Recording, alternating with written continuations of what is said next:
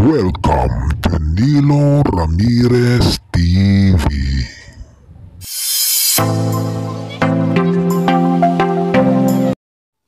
What's up guys mga katropa? Kumusta po kayo dyan? Bali sa video na to ay itutur ko po kayo sa isang malawak na taniman ng yellow corn. Kung napapansin niyo po guys mga katropa, mga mais po ito, napapaligut, napapalibutan po ako ng mga halamang mais o yellow corn. Ayan po. Ah, kaya samahan niyo po sana ako sa aking tour dito po sa Bukiran, dito sa aming probinsya. Yan po. Nasa gitna po ako ng maisan. Wala po akong mapiling magandang ah, venue para ako eh mag-vlog. Sumagi po sa aking isip na ano kaya kung subukan kong mag-vlog sa gitna ng maisan na sobrang kati. Kung napapansin nyo po, yan o. Yan. Yung dahon niya, itong mais, punong-puno po yan ng parang maliliit na kalayom, ang ipis. Pag sumagi po sa inyong balat yan, naku, sobrang kati. Kaya, yun po. Kaya tinitiis ko po yung kati dito para po ako nasa, ano, wala po ako sa Makati. Nasa ano po ako, isang probinsya na taniman ng mais. Kaya guys mga katropa, sana po samahan nyo ako at tayo magtutur sa gitna ng bukid na puno ng halamang mais. Ayan, tignan nyo po. Malalaki na po yung mais dito. Kung hindi po ako nagkakamali, mga ano na po ito. Uh, mag 2 months na po yung kanilang edad. Mga 4 months po para tuluyan pwede na po silang pwede na pong pitasin yung bunga ng mais. Yan po, tignan nyo po. Hindi hindi po biro nga maglakad-lakad dito sa gitnang bukid ng maisan kasi nga po sobrang kati. Masagi ka lang po ng dahon, ay sobrang kati po talaga. Kaya kung kaya mong tiisin, tiisin mo.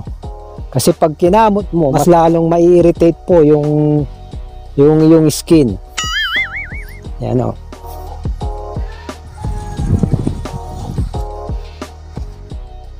Yan po, lumalabas na po yung bunga o.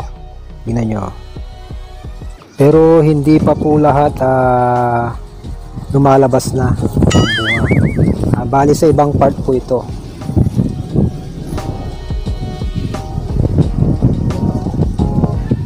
Ayan, may bulaklak na po. Yung iba. Bali dun sa kabila wala pa pong bulaklak. Ayan. Ito bulaklak po ito. Alam niyo po guys mga katropa, napaka mahalaga po ng uh, yellow corn sa ating uh, pang-araw-araw na pamumuhay. Kasi ginagawa po itong uh, cornstarch, uh, corn oil, corn beets, corn chips, corn soup, corn corn beef, uh, kahit ano basta merong uh, corn. Anyway, basta marami pong uh, gamit ang yellow corn kaya isa na, isa na rin po ito sa importanteng uh, halaman sa ating lahat. Tapos marami pa eh, marami pang uh, mga sangkap ng pagkain ng pinaggagamitan po ng uh, bunga ng mga halaman ito na yellow corn.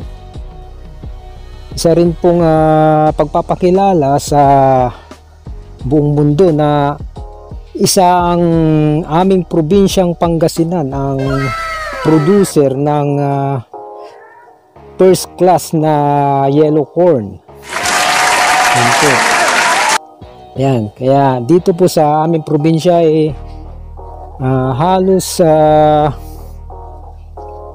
buong barangay uh, puro yellow corn po yung kanilang tinatanim. Yan. Kaya sa mga plantito-plantita po dyan. Related pa rin po ito sa paghahalaman itong aking vlog. Ah, kung tutusin po talaga, mahilig ako magtanim ng halaman kaso nga po ah, yun, wala lang po ako talagang ah, malaking budget para magparami kaya konti lang po yung aking mga halaman. Saka dito po sa aming probinsya, bago ka makapagtanim ng ganitong ah, ah, yellow corn, syempre po kung ang lupa mo ay isang hektarya, eh kung hindi ako nagkakamali, kailangan mo ng budget na mga 30,000 para sa sa binhi, abono, tapos land preparation. Ah, tapos sa patubig, sa diesel ng yung ah, water pump na gagamitin. Saka sa pagpapa-spray po in case po na magkaroon po ng problema sa dahon ng ah, punong mais o halamang mais.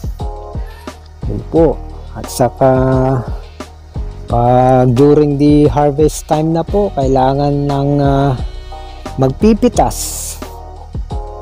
Tapos magbibilad nung ah, mga butil ng mais. Saka na po ibebenta. Mga bago po dyan sa aking channel, sana po Huwag niyo pong kalimutang mag-like pag nagustuhan niyo po ang aking ah, tema ng video. Comment, share lang po.